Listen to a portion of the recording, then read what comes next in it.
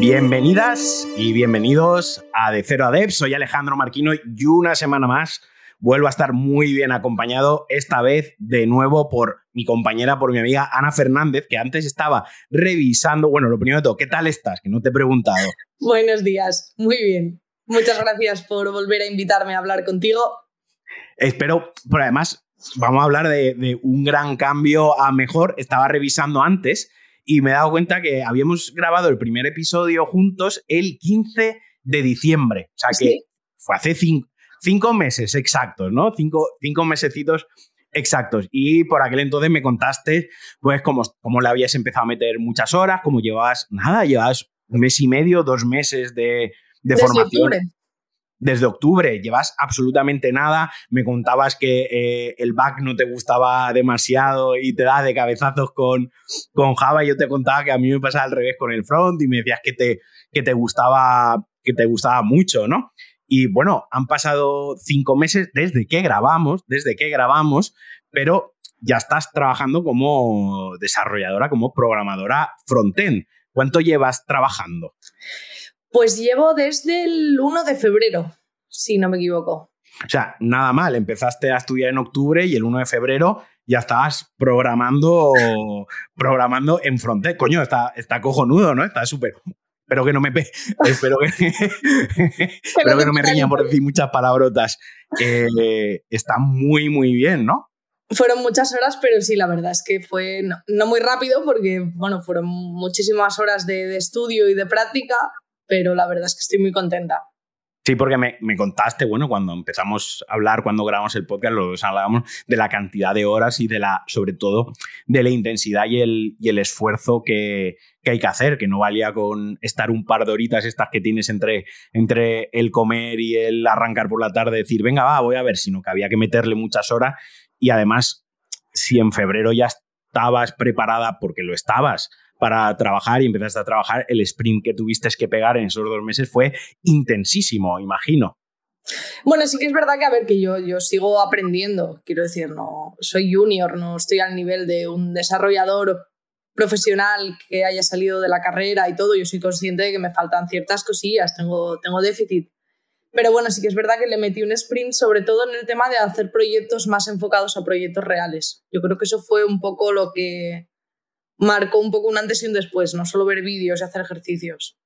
Entonces, está muy guay que comentes eso porque luego te iba a preguntar, pero ya, ya adelanto la pregunta, te, iba a decir qué consejos eh, darías a alguien, pues ya suelo preguntar o, solemos dar consejos para alguien que esté empezando, pero contigo eh, quiero preguntarte, consejos para alguien que ya haya empezado, que ya esté con cierta soltura y necesite como esa sensación, ¿no? Que cuando empiezas dices, muy bien, estoy aprendiendo tecnologías, pero yo no le veo una aplicación real, o me cuesta esto extrapolarlo al, día a día, ¿no? A la tecnología que todos consumimos y que todos utilizamos, ¿no? Esa persona que ya lleva uno, dos, tres meses preparándose y estudiando intensamente, ¿qué consejos le darías para darle un, acelerón y volver a sentir que vuelva a aprender mucho y de manera muy eficiente?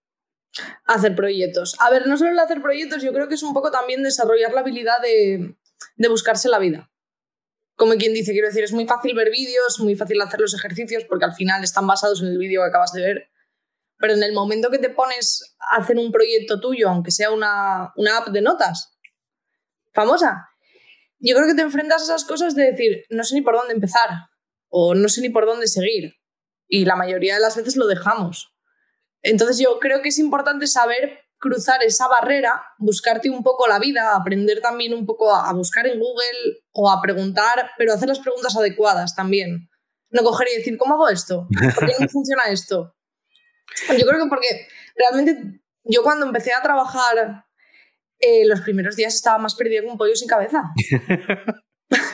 o sea, Sergio, uno de los compañeros, me tuvo que explicar todo de cero. O sea, me sentía que no, que no tenía ni idea de lo que me estaban hablando. ¿Sentiste, ¿Sentiste los primeros días el, el, síndrome del impostor? ¿Sentías Totalmente, porque además sí, trabajamos con React, pero trabajamos con TypeScript, que no lo había, no lo había tocado jamás. Entonces, claro, yo no entendía nada y sí que es verdad que en ese momento, como te quedes parado y esperes a que te resuelvan todo o a que te digan pasito por pasito lo que, lo que tienes que hacer, estás acabado. Me encanta porque todas las cosas que tenía apuntadas en mi mente eh, para ir preguntándote poco a poco, rollo, ¿y con qué tecnología estás trabajando? Eh, ¿Tuviste que adaptarte a una nueva tecnología? Eh, ¿Qué tal fueron los primeros días de trabajo? Todas me las estás contestando a raíz de algún consejo para el que, para el que ya esté un poco iniciado. no, pero sobre todo yo creo que es importante porque tú cuando, imagino, claro, yo nunca he contratado un junior, no soy no soy responsable de recursos humanos, ¿no? Pero imagino que cuando alguien te entrevista para un puesto junior, da por hecho que tú no lo vas a saber todo. claro. Decir, al final, oye, que estás empezando. Es Entonces, yo creo que importante. sí que es verdad que es más probable que contraten a alguien que demuestre iniciativa y que sabe buscarse un poco la vida y resolver cosas, aunque no sea escribiendo código, pero simplemente el resolver, oye, no sé hacer esto, voy a buscarlo, voy a aprenderlo alguien que simplemente sí haya hecho 25 cursos, pero no, no sepa más de, te, voy a, saber menos. Te, voy a, te voy a regalar el podcast porque eh, te lo voy a regalar porque ya directamente te, lo estás haciendo tú sola. me, me encanta, no, no, me encanta, me encanta. Mira, antes has nombrado una cosita muy, muy guay, ¿no? Que has dicho, por ejemplo, una aplicación de, de blog de notas, ¿no? Entonces, eh, te, voy a, te voy a traicionar un poco, y esto no te lo había preguntado, no te lo había comentado antes. te iba a decir, has dicho un blog de notas danos otra idea de, un, de algo que podemos eh, desarrollar para un pequeño proyectito que podamos desarrollar con una aplicación real como el blog de notas para, para practicar. Danos, sugiérenos una, venga. A ver, hay proyectos súper clásicos como la, la, típica app del tiempo, que se conecte con una API que te muestre los datos en, tiempo real. Eso está muy guay porque aparte de demostrar que sabes, sabes coger esos datos de una API, pues también, oye, puedes hacer algo muy chulo a nivel visual, puedes hacer algo responsive que trabaje en móviles. Entonces yo creo que es buscar proyectos esos que, que toquen varias cositas, que no sea simplemente la típica, la típica app de, de listas, de listas de tareas, que bueno, sí, eso creo que es de los primeros ejercicios que hacemos todos. Entonces yo creo que buscar algo más, más bonito que cuando la gente, el entrevistador, quien sea que lo vea, diga, jolín, se ha buscado la vida, mira qué, cosa más bonita, aunque sea algo que haga todo el mundo, porque yo creo que apps del tiempo hemos hecho todos también. Sí, yo creo que cuando lo que estás comentando tú, ¿no? Algo, aunque sea sencillo, creo que es mejor hacer algo que en esencia sea muy simple, no complicarte la vida, pero que sea original, que le intentes dar una, una vueltecita de algo que lo, que lo distinga, aunque sea muy básico a nivel funcional y haga tres cosas, pero que una de las tres cosas que haga sea algo diferente o algo curioso o algo simpático, ¿no? Que tener esa originalidad, ¿no? No le vas a vender esa app, ojalá te la comprase Apple, mira, todos sí, no, escucha, si se te ocurre la idea del siglo que luego te la compren, pues claro, adelante, haz tres. A, tope, a tope, pero hasta entonces eh, yo lo, lo, comenté en algunos podcasts anteriores. Yo hice un, hice como una aplicación que era el horóscopo, ¿no? O sea, tú le ponías tu fecha de nacimiento y te decía qué signo, signo zodiacal era. Pero pensé, qué tontería, ¿no? Todo el mundo sabe ya cuál es su signo del zodiaco, porque qué aplicación. pero lo has hecho. ¿Qué? Pero no, pero, pero le di una vuelta y dije, ya está. Pues voy a crear una array list, ¿no? De que cada, cada signo zodiacal le vamos a asociar un personaje del Sálvame. Entonces, cuando tú le pongas cuando tú le pongas tu fecha de nacimiento, le decir, eh, tu signo zodiaco, o sea, eh, eh, tu signo zodiaco es Kiko, Matamoros, no es Lidia Lozano, ¿no? Y claro, trabajé un mogollón de cosas, en verdad, porque tenía que hacer clases, objetos, interfaz, ¿no? Para que se llamase, además lo hice en Java, que si ahora lo hiciese en Python, pues igual lo haría hasta súper más sencillo, más rápido, y, pero en ese momento lo hice con, con Java, ¿no? Pero ya me sirvió a mí como, venga, va, ¿y cómo se hace esto? ¿no? Y esto ya se salía fuera de todos los vídeos, tanto de Open Bootcamp como de YouTube, como esto ya era, vale, si quiero que esto haga esto, ¿cómo, cómo lo tengo que hacer? Lo que tú decías, lo de también saber qué preguntar. No solo hay que saber qué preguntar al compañero o al superior, también hay que saber qué preguntarle a Internet, porque en Internet hay mucha morralla. No, no, buscar en Google es súper importante y es lo que dices tú. Y también puedes buscar la forma de decir, oye, pues, Jolín, tengo 800 mm, favoritos guardados en el navegador. Voy a hacerme, no, voy a hacerme mi página que tenga hosteada en Bercel gratuitamente, pero donde yo tenga guardadas mis favoritos y pueda añadir más o pueda quitarlos. Y decir, también al final se trata también de solucionar problemas. Es decir, están muy guays las apps como la que dices tú o como la del tiempo, tal, pero también yo creo que de cara al trabajo, al futuro, queda muy bien el decir, bueno, pues yo he hecho esta aplicación porque tenía este problema y lo he solucionado así.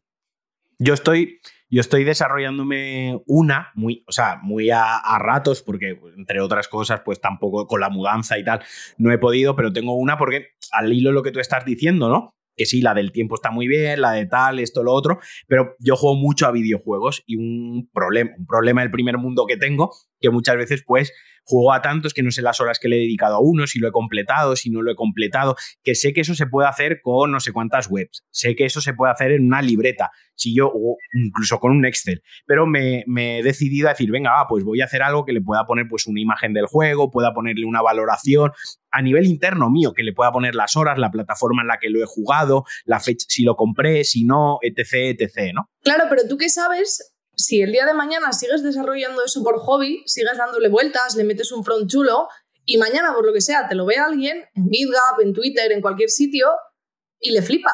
Claro. Y te dice, oye Marquino, ¿puedo usarlo? ¿Puedo, ¿Puedo añadirle cosas? ¿Puedo mejorarlo? ¿Podemos trabajar en esto? Por eso es, es decir, es también una forma de que la comunidad vea lo que haces. Por eso es, claro, por eso es importante que la gente se proponga hacer cosas que le motiven, que, les interesen, cosas de las que ya tengan ciertos conocimientos eh, previos. Pues si te gusta mucho leer, pues lo mismo, aplicaciones de lectura, pues hay 200.000, ¿no? Pero oye, a lo mejor te puedes hacer tú una aplicación de lectura para ti que cubra, que a lo mejor la que más te gusta dices, mira, como echo de menos que en esta aplicación que tanto me gusta tuviese esta future, ¿no?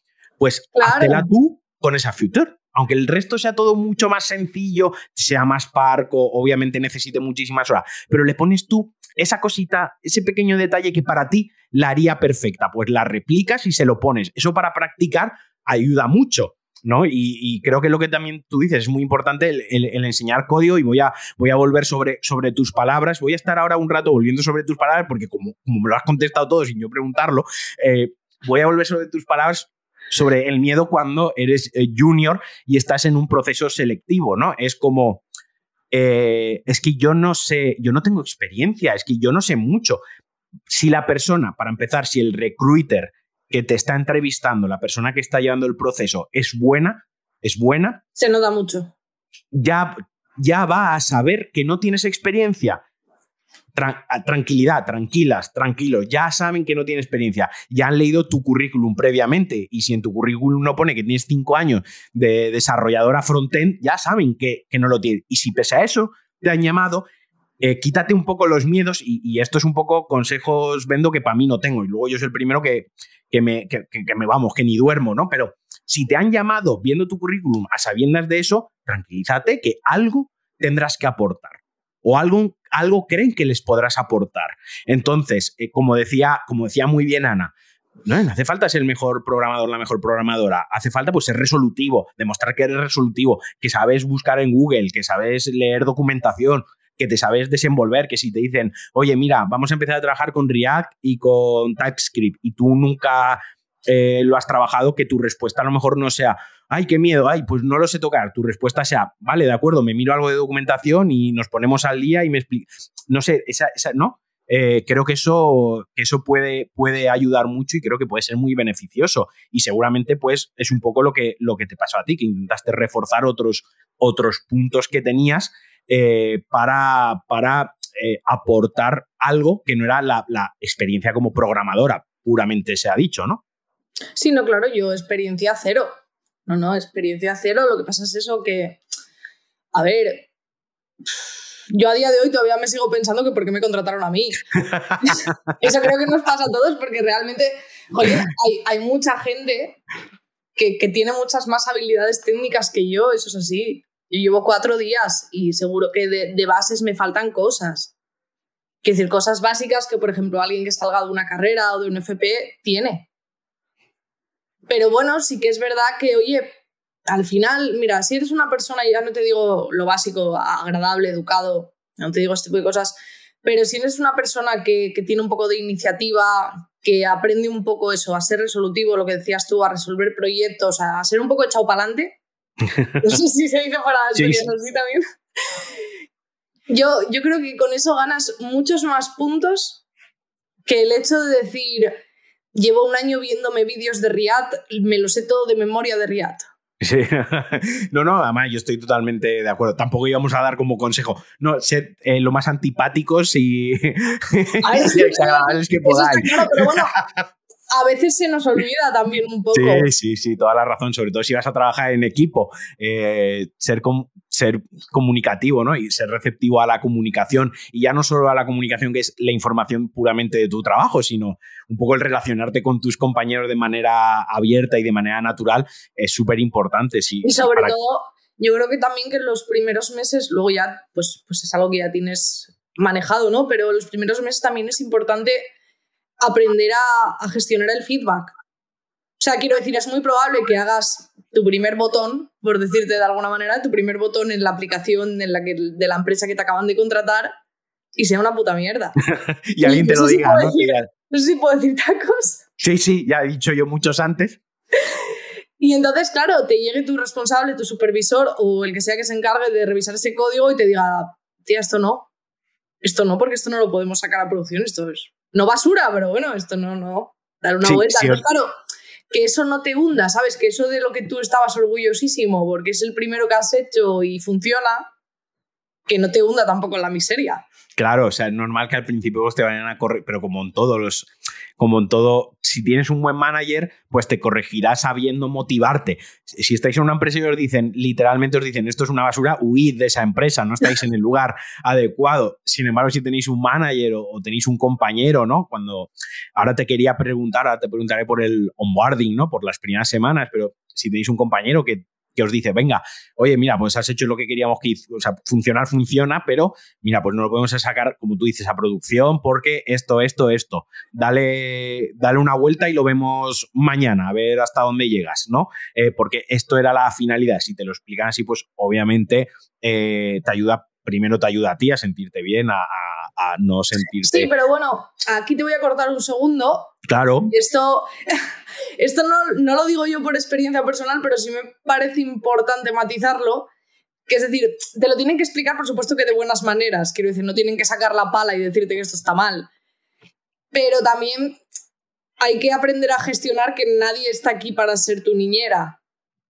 O sea, quiero decir, nadie va, igual no tu manager, por lo que sea tu supervisor, no puede estar pendiente 24/7 de cada línea de código que hagas, de que todo esté correcto, de que todo esté bonito. Entonces también igual te dice, tío, esto no, fuera. Pero porque no tiene tiempo de darte ese feedback. Sí, sí. Que sería lo ideal, pero hay veces que no, por lo que sea, no da tiempo. Entonces también hay que aprender a, a revisar un poco el código propio, a decir, vale, espera, ¿cómo le puedo dar una vuelta? ¿Cómo lo puedo mejorar? Y hablando, hablando de lo que comentabas, ¿no? De, empezar y tal, ¿qué tal fueron el onboarding, tus primeras semanas? Antes, fuera del micro, me decías, eh, he dormido poco y, y, tal. Imagino, ¿no? Que, que, es algo que se retroalimenta, estás, estás aterrizando en un, en un sitio nuevo, en un sector nuevo, trabajas mucho porque quieres dar la talla, descansas poco porque tienes la cabeza en la preocupación de tengo que hacerlo bien me imagino que todo es un, cúmulo, ¿no? Pero, pero cuéntanoslo tú de primera mano, ¿qué tal, qué tal fueron las primeras semanas? La alegría y a la vez la presión, ¿cómo lo gestionaste y, qué tal fue? Sí, no, a ver, te, decía lo de que duermo un poco porque sí que es verdad que yo soy una persona muy nerviosa. En el momento que estoy nerviosa, yo no duermo. Entonces, claro, el punto de empezar, conocer a todo el mundo, eh, empezar, pues eso, descárgate esto, eh, descárgate el repositorio, espera, entra aquí, hazte la cuenta de esto, toma el email, de repente toda esa información, seguir el ritmo, todo. Sí que es verdad que te digo, no es porque lo vayan a escuchar, que no sé si lo van a escuchar, pero tengo unos compañeros maravillosos que desde el primer día me han ayudado en todo, a decirme, no, esto así, no, espera, descárgate esto, no, espera que te lo explico. Quiero decir, no es que hayan perdido mucho tiempo, porque tampoco creo que se considere perder el tiempo, pero sí que han invertido muchísimo tiempo en ayudarme con todo, sobre todo los primeros días. Entonces yo creo que eso facilita mucho la tarea de, no sentirte tampoco completamente perdida, ¿no? De que llegas ahí y no sabes ni qué botón tocar ni a dónde mirar. No, no, pues... también te tengo un consejo eh, muy bueno cuando estás, eh, si estás nerviosa, hay un consejo muy bueno, no estés nerviosa, ¿no? Es como, estás triste y no estés triste, estás nerviosa, Ana, no estés nerviosa y duerme, ¿no? es normal, es normal. Pues nada, oye, te veo súper bien, me alegro un montón, porque además te veo súper contenta.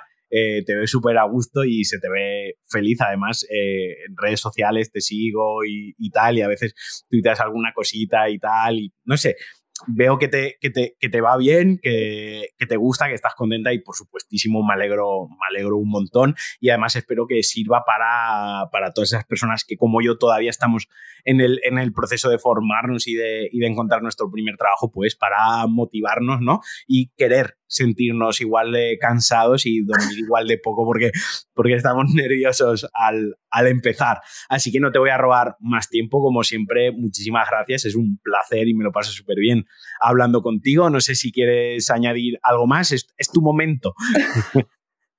un saludo a mis padres, no. Eh, no, no, de verdad, eso. Yo creo que también eso, pues lo que hemos comentado, hacer proyectos, echarle un poco de chispa, también ser, dar la vara. Yo creo lo que dices tú, dar un poco la vara por redes sociales, dar un poco la, que te vean que te vean con actividad por todos sitios, empezar a moverte un poco en la comunidad. Que decir, entrar un poco en el mundillo, porque no tienes por qué estar trabajando para entrar un poco en el mundillo. Entonces yo creo que eso es súper importante. Y lo que me decías, pues sí, la verdad que estoy, estoy muy contenta. Pues nada. Muy, muy contenta. Como siempre, muchísimas gracias a, todo y a todas las personas que han llegado hasta el final del podcast. Ya sabéis, se valora muchísimo feedback, cinco estrellas en vuestra app de podcast favorita. Un abrazote, un besazo y nos escuchamos la semana que viene. Adiós.